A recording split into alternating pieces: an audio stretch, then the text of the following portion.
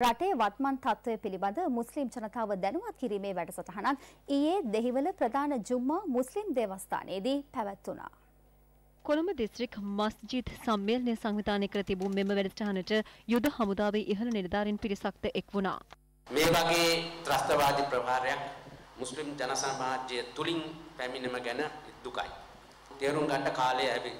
අපි මේ මම මෙතන වෙලා කතා කරපුවාන් මම අහගෙන හිටියේ අපේ දුක විතරයි.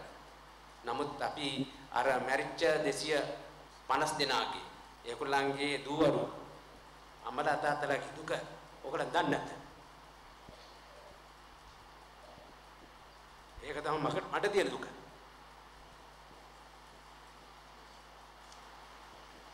මට ලැජ්ජයි. ඒගොල්ලන් ගැන දුක් වෙන්න. ඒගොල්ලන් ගැන තැකීමක් තියන්න.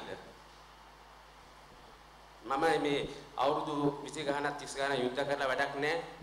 ඒ මේ මුස්ලිම් නිලධාරි වශයෙන් ඒ සාමය අපිට ගේන්න බැරි නම්. නිදාස් වෙනුවෙන් අපේ කට්ටිය ලොකු වැඩසටහනක් කොටසක් කරා.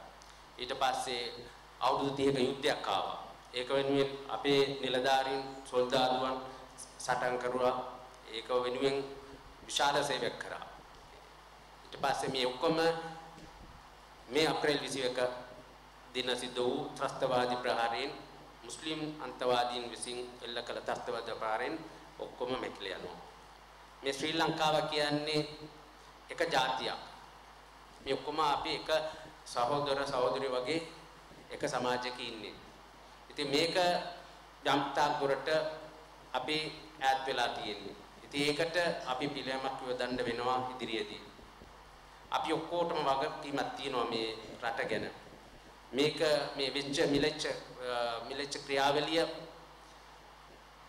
කොච්චර කොච්චර මේ මේ මුස්ලිම් මේ මේ ආගමන කුල නැති වුණා අපිට බැරුණා ඒක නවත්ත ගන්න. ඒක තමයි දුක.